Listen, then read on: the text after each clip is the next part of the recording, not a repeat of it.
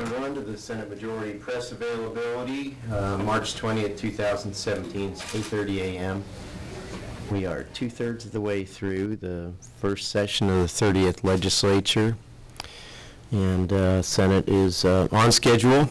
We are working hard. We uh, do not have an operating budget from the other side at this point. Therefore, we are preparing our own. Senator uh, Hoffman's going to talk about that in just a moment, but uh, we talked about not having business as usual. That's our plan. We're going to continue with that. As we get bills from the other side, we will certainly process them and hear them. If uh, we do not receive bills from the other side, we are going to present a plan of our own and hope that it's, uh, we receive the same courtesy as those bills get across um, to the other side. And, you know, we've talked about uh, what we're going to do on this um, little fiscal gap problem we have. The, the Senate has presented a bill, Senate Bill 26. Um, we are taking the advice of every economist that we had in the building that told us not to do everything at once.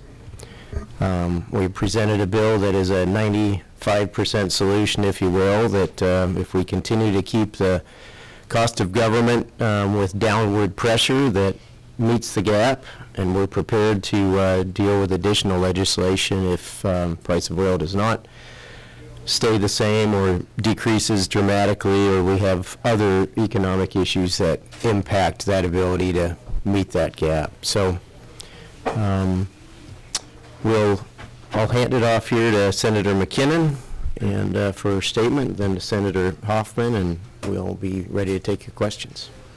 Certainly. Good morning.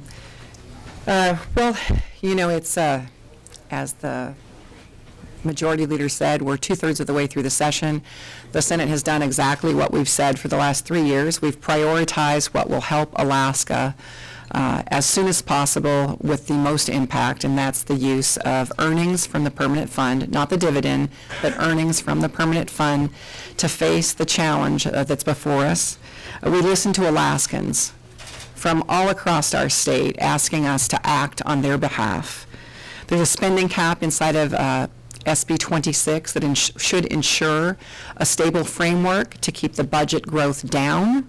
Uh, The Senate will continue to go after cuts inside of the operating budget and ensure a dividend in the long term for all Alaskans. With that, I'll hand it off to Senator Hoffman. Good morning. Um, We finished public hearing process uh, on the operating budgets uh, last uh, Friday. Um, We had, we heard from many people on many different issues, uh, but the, probably num- the number one issue that people testified on was uh, public broadcasting, public radio, by far. You know, I think uh, the second uh, was education. Um, And uh, we still plan on trying to work with the other body. Hopefully, they can get their operating budget to us today. It's still the plan to uh, go the normal course um, and use their budget.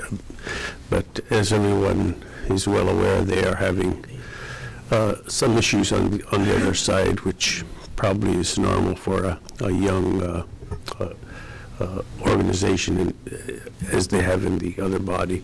But um, hopefully we can have uh, the operating budget on the floor on Friday or on uh, the following Monday, which is still under normal circumstances uh, within the time frame that, uh, that uh, we're dealing with the budget. The legislature, the Senate has concentrated on the four majors, uh, transportation, has university and education, targeting 5%. Um, The, what is online represents, uh, uh, in transportation, represents from the governor's amended uh, about a 5% reduction. The university and uh, the HES budgets also have 5% reduction in general fund. Um, It's anticipated that uh, education will um, be addressed in that uh, same area of reductions, but that is, has, is and has always been um, a hot button point. But when you're looking at uh, the, the major four, um, from FY fifteen uh, through the governor's budget, education uh, has received the lowest reduction of any department. Um, uh, or second lowest, judiciary being the, the lowest at 6.3%, uh, education at 7.9, and you have commerce receiving reductions in general funds of a whopping 54.3%. Um, And second to that is uh, uh, labor and workforce development receiving a 37.3% reduction. So I think by the virtue of the fact that uh, education has, has been spared um, many uh, budget uh, belt tightenings uh, shows how important that is, uh, and rightfully so. So we, we will be addressing that uh, early this week and be finalizing uh, the, the state operating budget uh, and have that on the floor as late as Monday. Okay, thank you. Um, We can certainly go to questions at this point, if we have any questions. Austin?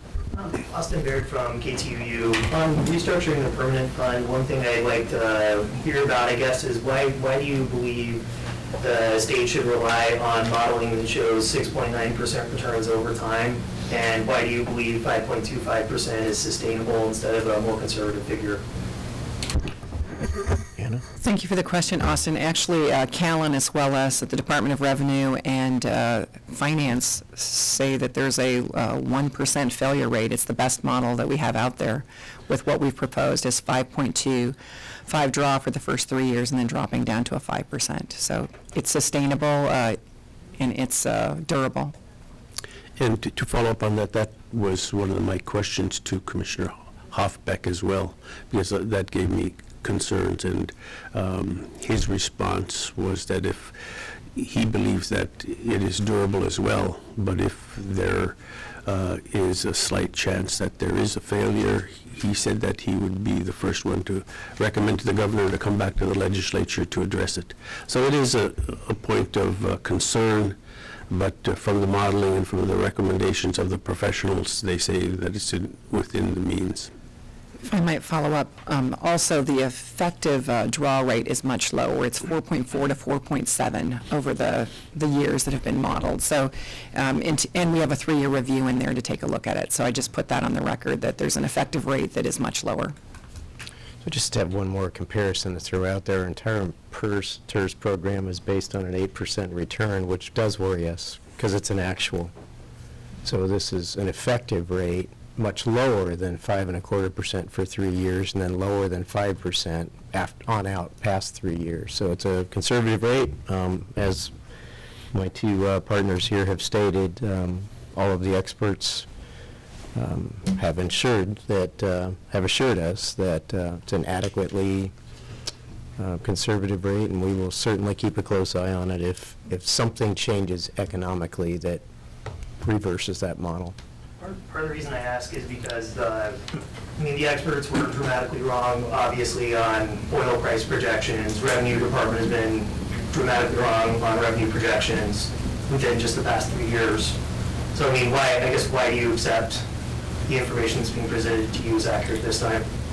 Well, it's, it's, it's, you have to rely upon someone to make your decisions, and these are the best in the field. And uh, if you don't listen to them, then who do you listen to? You know, we, we pay uh, uh, sums of money to hear from the experts and uh, uh, not to heed their advice. So Austin, if you think about returns on in- investments, um, if, if the number of 6.95% is in danger, then so is all traditional investment uh, programs throughout the U.S., actually throughout the planet. Your question was based on a single commodity price. Um, Investment returns are based on thousands of ty- types of investments from real estate to commodities, so that's what levels off that difference. And we're still more conservative than many of the retirement programs that are expecting a higher rate. Again, the, the effective rate is the most important number here. And if you include years that include things like the Great Depression, um, over time, that's um, still a relatively conservative rate. So it would have to be an entire, f- uh, absolute failure of our economic system, which is possible, I suppose, Um, But it would be unprecedented and is completely unexpected. We have to base it on a historical number that's safe, and that's what we've done in consultation with the experts. Yes, Matt? Good morning, Matt Herz with Alaska Dispatch News. Um, the House in Finance this week has scheduled like a full week of hearings on the oil tax legislation. Um, should the Senate be starting to advance its own oil tax legislation, given that it's taken the House 60 days to get its oil tax legislation this far? Well, Matt, you missed the intro, um, but we talked about that a little bit. Um, The fact is, we are going to charge forward if, if nothing comes across that is substantive. So you can look at, we've gotten 26 across the finish line. We're, in fact, just about ready to send a budget over if we don't receive one in the next couple of days. And it will be the same with those other big pieces of legislation. If the House, and I'm not here to ding the House, um, but they're a new organization. They haven't held the reins in a long time, and uh, I think they're, they're struggling with uh, some of these larger policy calls. Um, If we don't see something coming soon, you're going to see bills come across on all the major issues that must be dealt with this year. I would just add that um, our members are familiar with the oil tax policy debate, so I I expect that we would be um, more nimble and ready to move. So, so you view oil, oil taxes as an issue that needs attention from the Senate regardless of whether the House passes its own legislation? Well, we, as Alaskans, we like to just say oil taxes. It's just kind of a fun way of talking about the entire system. Um, we believe that there's some exposure on oil credits that we're willing to look at, just like we were willing to deal with it through HB 247 last year that didn't receive a lot of coverage, but reduced the exposure to the state by about $450 million a year. So we're certainly looking to um, sharpen the program so it's best for the state, but still encourages investment. Um, So when you say oil taxes, um, we don't see a lot of need for correction. Senate Bill 21 is obviously working. We heard it from both sides of the aisle last week during the Senate Bill 26 discussion. Um, But we do uh, admit that we have some credit exposures on a cash flow basis that we would like to improve. Are those the North Slope credits? Uh, They're the only remaining credits, yes. Yes. Shauna Crandall, Alaska Education Update. Can you address the level of criticism you've received over not having any funding in the budget for education since you introduced the committee substitute? Well, when we commit, um, when we did that, uh, I did not want to uh, put in a, a number um, that didn't have support, and so it, it's under discussion. And I've uh, stated that uh, numerous times during the public hearing process, and I think the people have, uh, that testified have acknowledged that because they referred to the five percent um, uh, no one agreeing with that amount of level of cuts, and uh, just virtually everyone that mentioned it uh, had concerns that it is too high, but acknowledging that, uh, several of them acknowledged that 5% uh, seemed small, but in the bigger uh, scheme of things is a large number because uh, education uh, receives top dollar in the state. James? Uh, James Brooks from the Juneau Empire. One of the things we saw passed in the House on the floor as an amendment was the cuts to per diem. And I was curious what your thoughts were on